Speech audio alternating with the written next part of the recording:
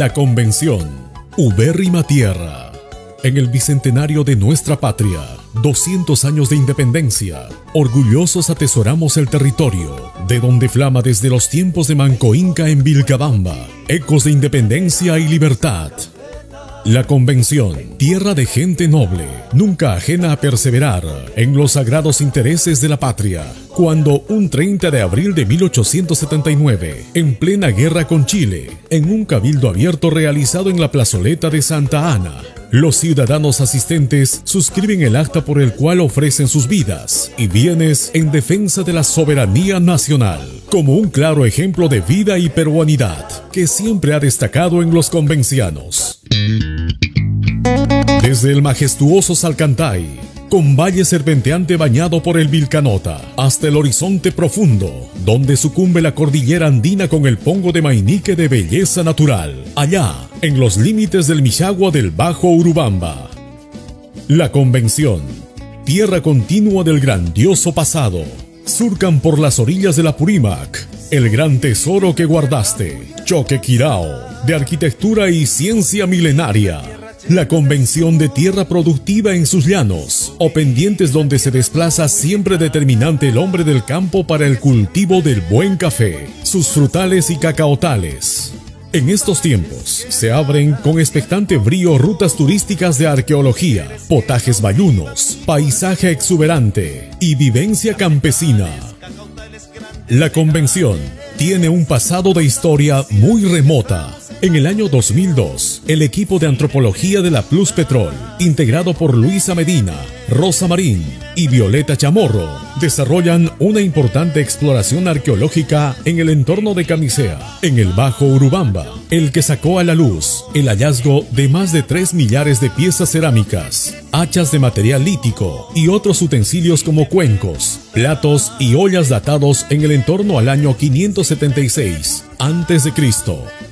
Por otro lado, si nos referimos a la interconexión de Cusco con los valles convencianos, estos se remontan a 1537 y toman notoriedad cuando Manco Inca, tras recorrerlo, se refugió en Vilcabamba. Desde entonces se sucedieron por él numerosas incursiones de los ejércitos, tanto de españoles como de incas. Este camino en su tramo hasta el puente Chaullay fue el que siguió utilizándose para acceder a la convención. En la actualidad, desde 1966, la carretera Cusco-Quillabamba discurre, en gran parte, siguiendo el trazo del antiguo camino inca, el que incluso continúa hasta la localidad de Chaguares.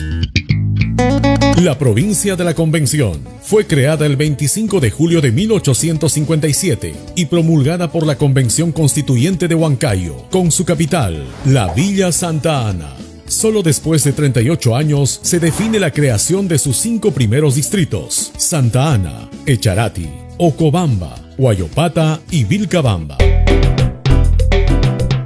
El 29 de noviembre de 1918, la capital fue trasladada a la Villa Quillabamba, reconocida posteriormente como ciudad.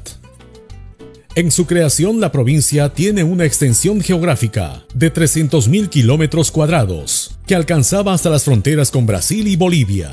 Con la creación de los departamentos de Madre de Dios y Ucayali, supone sucesivos recortes para el territorio convenciano, reducido a poco más de 30.000 kilómetros cuadrados, arrancando del nudo de Salcantay a 6.264 metros sobre el nivel del mar, y de ahí hasta los 300 metros de altitud en la planicie de la selva amazónica, el Bajo Urubamba, en cuya superficie total actualmente la provincia se establece vasta y determinante, con la creación de cinco nuevos distritos este año 2021, el que suma un total de 19 distritos. Guayopata, Santa Teresa, Maranura, Vilcabamba, Santa Ana, Incahuasi, Villa Virgen, Villa Quintiarina, Echarati, Quello 1, Ocobamba, Quimbiri, Pichari, Megantoni y los recientes Cumpiruciato, Cielo Punco, Manitea, Unión Asianinca y Tambo del N. La ciudad de Quillabamba, asentada en una especial planicie bañada por los ríos Vilcanota, Chuyapi y Zambaray, es una muestra del espíritu de emprendimiento, y amplitud de su gente con un crecimiento exponencial de la infraestructura urbana, principalmente en esta última década para los hogares, el comercio, servicio hotelero, la industria y entidades financieras. Quillabamba, denominada Ciudad del Eterno Verano, con parques, de calles anchas y centros públicos de imponente infraestructura, como el Mercado Modelo, para el abasto con productos del valle.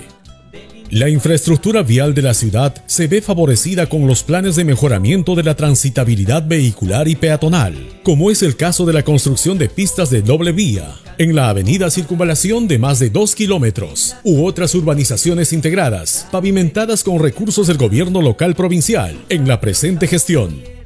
Destaca también la ampliación de las obras de asfaltado en la zona rural del distrito de Santa Ana, como es el caso de las obras de la cuenca de Chuyapi, con el asfaltado económico hasta la localidad de Esmeralda, y en la cuenca del Vilcanota, a la zona de Guayanay, con la obra de asfaltado de 17 kilómetros, el que actualmente se hizo entrega del primer tramo de Pabayo al Morro San Juan.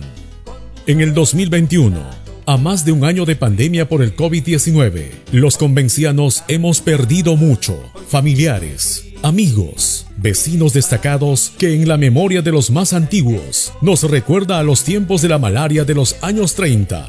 10 años de desolación, con la muerte de más del 10% de una población de 30.000 habitantes.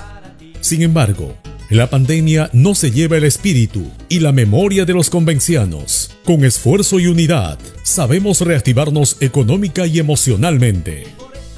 El gobierno local, ante las carencias para una adecuada atención de infectados, aprobó la construcción de salas de atención hospitalaria para pacientes con COVID-19 para el Hospital del Minsa y e Salud Actualmente se realizan campañas médicas a fin de evitar la aglomeración de personas en los centros de salud y así recibir mejor atención. Juntos los convencianos, autoridades y sociedad civil, en colecta pública, logramos la compra de una planta de oxígeno para el Hospital de Quillabamba.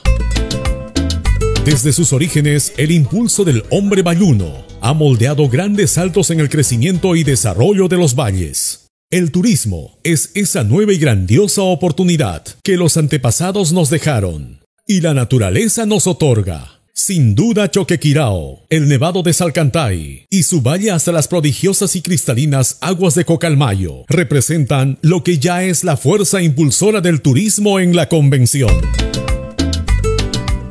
Este 2021, los convencianos celebramos 164 años de creación política de momentos grandiosos y otros infortunios a lo largo de la historia, pero siempre airosos por la confianza en nuestras propias fuerzas. Y la pandemia por el COVID-19 será un capítulo más en las largas travesías del valle. Entre tanto Dios siempre guiará en nuestro camino.